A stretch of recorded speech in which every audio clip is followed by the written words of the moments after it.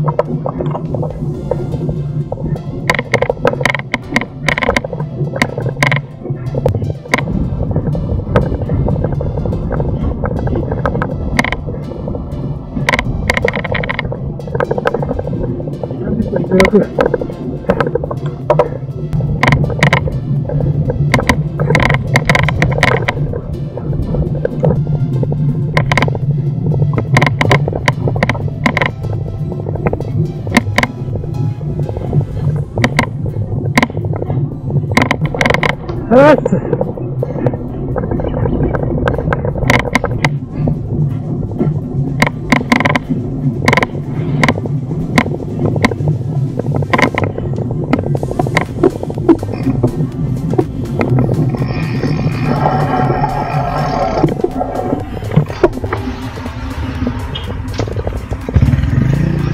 诶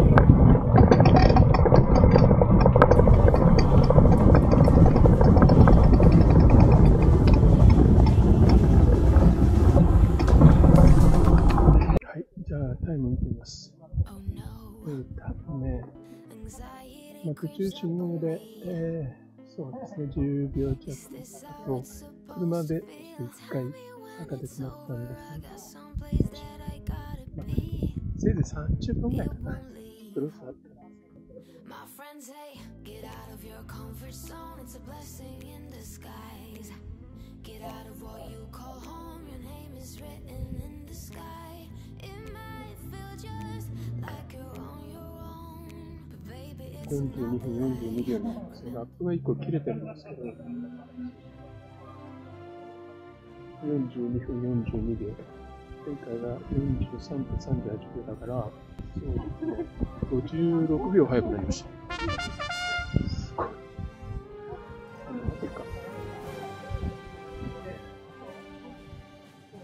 いや、今日はヤビッチ、えー、天気が良くて富士昼近いせいでしょう。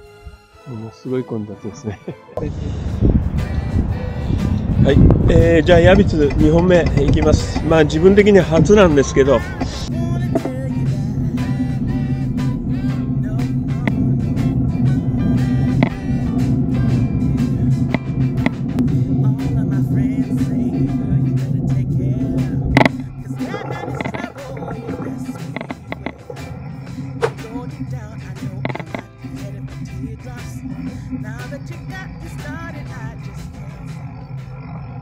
はい、えー、峠行ってきました。